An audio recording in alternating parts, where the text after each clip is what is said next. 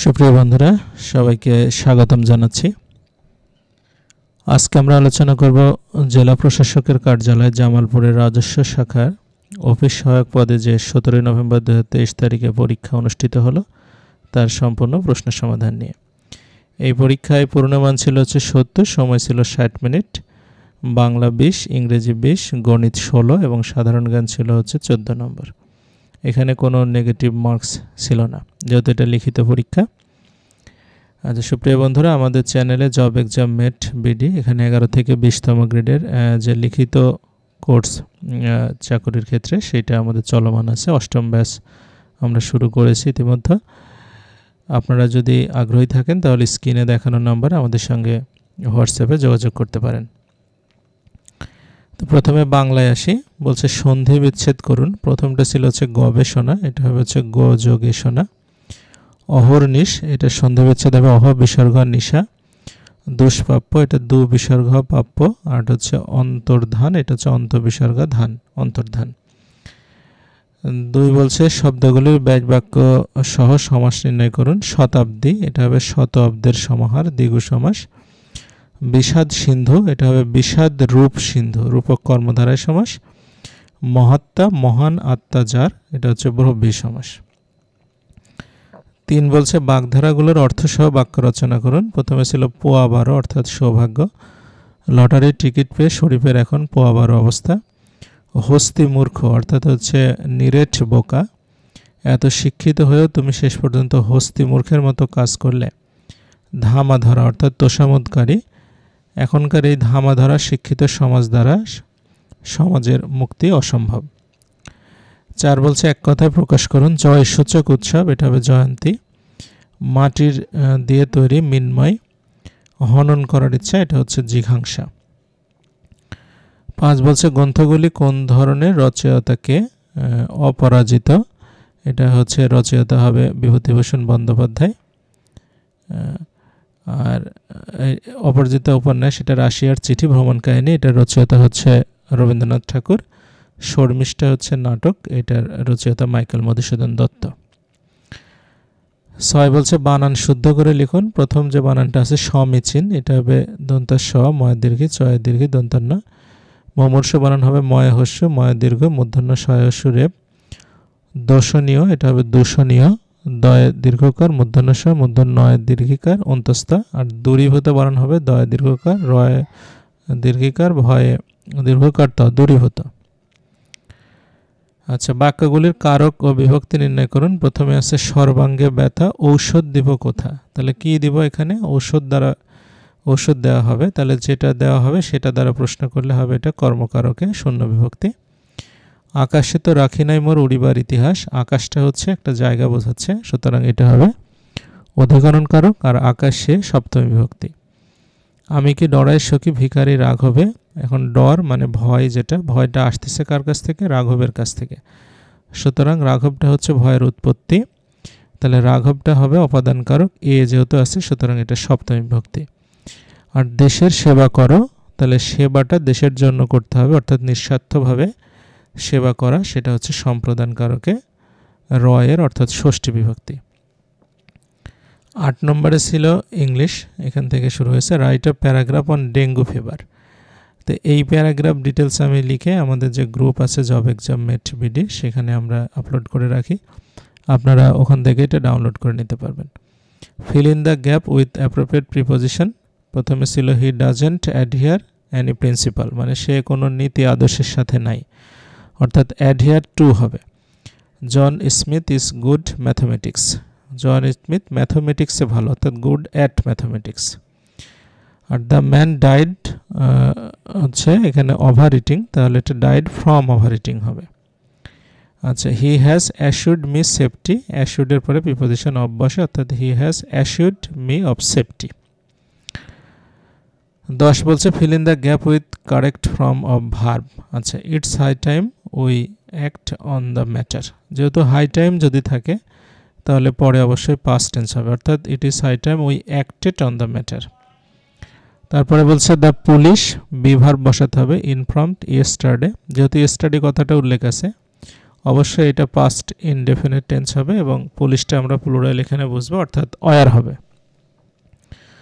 The Arabian Nights এটা হচ্ছে still a great Arabian Nights একটা মানে বইয়ের নাম, সুতরাং এটাকে আমরা বিভার বসাবো হচ্ছে ইজ অর্থাৎ is still great R my father live before I came যেহেতু বিফোর যুক্ত সেন্টেন্সে আমরা জানি হচ্ছে পূর্বে হবে পাস্ট পারফেক্ট টেন্স আর পরে হবে পাস্ট ইনডেফিনেট টেন্স তো সুতরাং my father had left before I came আচ্ছা এগারো বলছে write the passive form of the following sentence who has broken the jug এটা হচ্ছে by whom has the jug been broken I know him he is known to me R open the window এটা হবে let the window be opened বারো বলছে write down the correct indirect form of the sentences she said I went home এটা হবে she said that এখানে যেহেতু past independent আছে past perfect হবে, অর্থাৎ শি হ্যাড গান হোম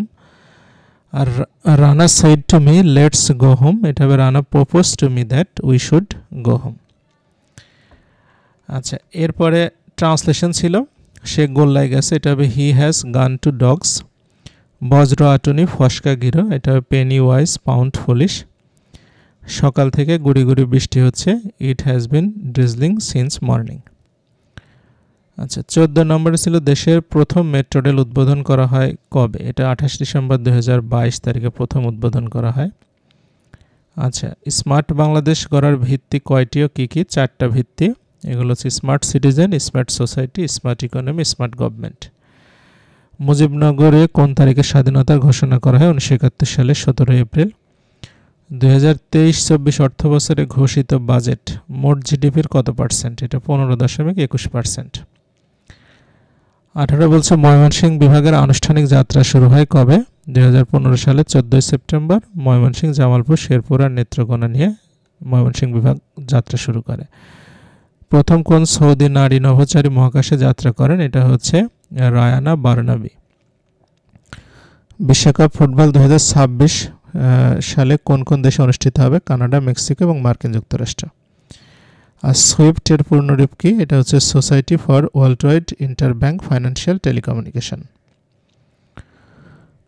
আচ্ছা বাইশ বলছি স্পার্টসের পূর্ণরূপ কি? Space Research and Remote Sensing Organization তেইশ হচ্ছে এ টু আয়ের বর্তমান পূর্ণরূপ কি? এটা হবে অ্যাসপায়ার টু ইনোভেট চব্বিশ থেকে গণিত ছিল যে টাকায় তিনটি এবং পাঁচটি করে সমান সংখ্যক আম কিনে, টাকায় চারটি করে বিক্রি করে শতকরা কত লাভ বা ক্ষতি হবে।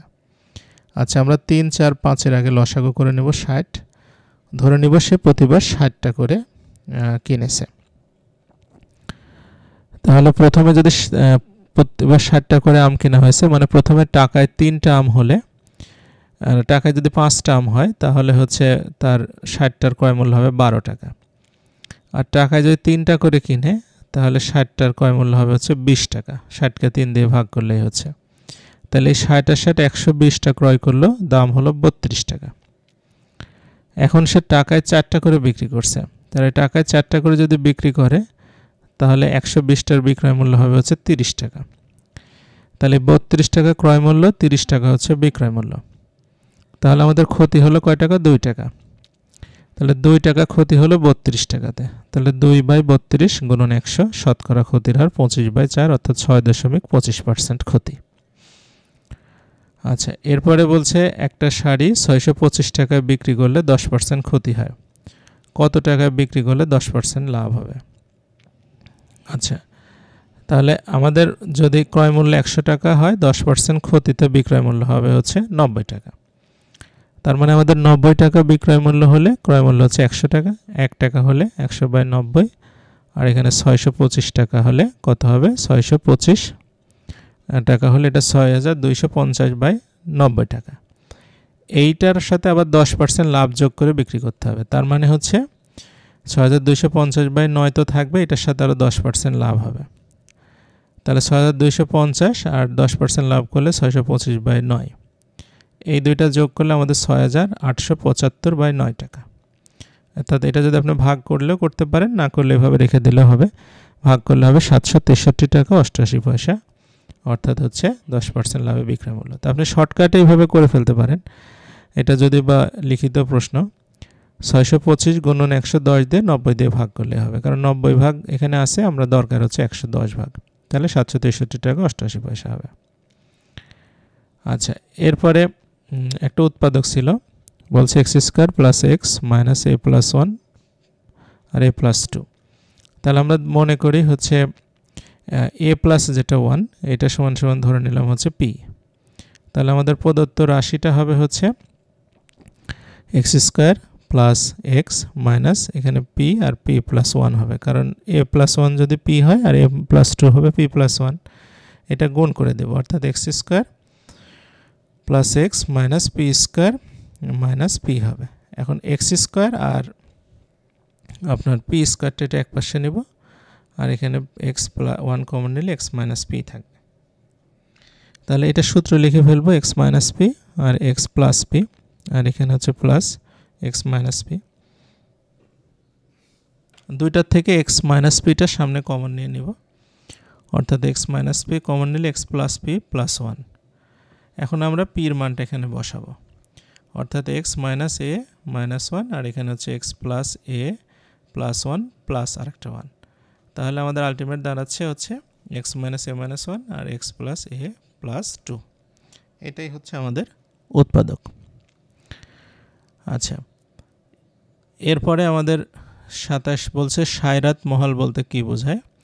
সায়রাত মহল হচ্ছে সরকার কিছু জমি মানুষকে স্বল্প সময় ব্যবহারের জন্য লিজ দেয় সেগুলোকে বলে সায়রাত মহল। এটার কারণে মালিকানা চেঞ্জ হয় না। জমির শুধু ব্যবহার করতে পারে। যেমন জলমহল হাট বাজার বালুমহল, পাথরমহল, বাঁশমহল মানে বাঁশ যেখানে অনেক আছে, পাথর আছে, যেমন নদীতে বালু তুলে এগুলো এসিল্যান্ডের অফিস থেকে অনুমোদন দেওয়া হয়। আচ্ছা ই নামজারি বলতে কি বোঝায়? ই নামজারি হচ্ছে যে জমির মালিকানা যদি পরিবর্তন হয়, তাহলে হচ্ছে এটা যখন নাম মানে জমির পরিবর্তন করে নামজারি করতে সেটা অনলাইনে করার নামই হচ্ছে ই নামজারি।